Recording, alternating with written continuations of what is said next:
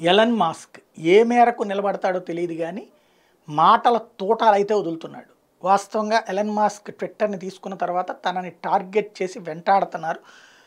ఒకటి ట్విట్టర్లో ఇంతవరకు వామపక్ష భావజాలికుల ఆధిపత్యం ఉంది.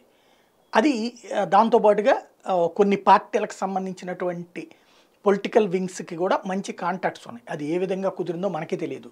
వాళ్ళు కోరుకున్నప్పుడు ఒక్కసారిగా ట్విట్టర్లో ట్రెండింగ్ వచ్చేస్తే వద్దనుకుంటే ఒక్కసారిగా పక్కకి వెళ్ళిపోతూ ఉంటుంది అట్లాంటి ఒక స్ట్రాటజిక్ పనులు చాలా రోజుల నుండి జరుగుతూ వచ్చాయి. ఇప్పుడు ఎలన్ మాస్క్ తీసుకున్న తర్వాత ఆ అలాంటి వ్యవహారాలు నడిపేటువంటి వాళ్ళు పక్కకి వెళ్ళిపోవడం వల్ల అనుకుంటా అడ్వర్టైజ్మెంట్స్ తగ్గిపోవడం కానీ రోజుకి ముప్పై రెండు కోట్ల వరకు లాస్ రావడం కానీ ఇదంతా నడుస్తుంది. అదే సందర్భంలో ఎలన్ మాస్క్ని వెటకారం చేయడానికి కొంతమంది సెలబ్రిటీలు ఏదైతే ఎనిమిది డాలర్లు పెట్టారు అన్నటువంటి దాని మీదన సెలబ్రిటీలు తమ ప్రొఫైల్ పిక్స్ తీసేసి ఎలన్ మాస్క్ ఫోటోలు పెట్టి మరి ట్వీట్లు చేస్తా ఏడిపిస్తున్నటువంటి సందర్భంలో వాళ్ళకి ఒక అమ్మాయి కంగనా రనౌత్ అనుకుంటా తప్పే ఉంది ఎనిమిది డాలర్లు పెడతాయి అన్న మాటలు మాట్లాడింది ఆవిడొక్కతే. ఇప్పుడైతే ఈ ట్విట్టర్లో ఎవరైతే ఇట్లాగ డిస్ప్లేలో ఖాతా పేరుకు బదులు వేరొక పేరుని వాడితే శాశ్వతంగా ట్విట్టర్ నుంచి ఆ ఖాతా తొలగిస్తామంటున్నాడు ఎలన్ మాస్క్. కొంతమంది ప్రముఖులు తమ డిస్ప్లే పేరుని ఎలన్ మాస్క్గా మార్చి ఆ, ఖాతా పేర్లు కాదు డిస్ప్లేకి ట్వీట్లు చేస్తుండదు మాస్క్ స్పందించాడు.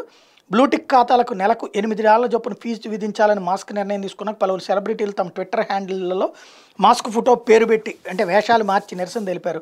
తమ ఖాతా పేర్లను మాత్రం సొంతానివే వాడారు. ఈ నేపథ్యంలో ఖాతా విషయంలో నిర్ణయం తీసుకునే ముందు గతంలో ట్విట్టర్ హెచ్చరికలు జారీ చేసేది ఇక మీద హెచ్చరికలు ఏమి ఉండవు తొలగింపులే అనేటువంటిది మాస్క్ ట్వీట్ చేశాడు.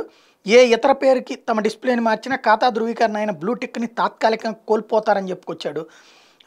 ఓపెన్గానే తను చెప్తున్నాడు ఎక్కడ వెనక్కి తగ్గేదే లేదంటున్నాడు.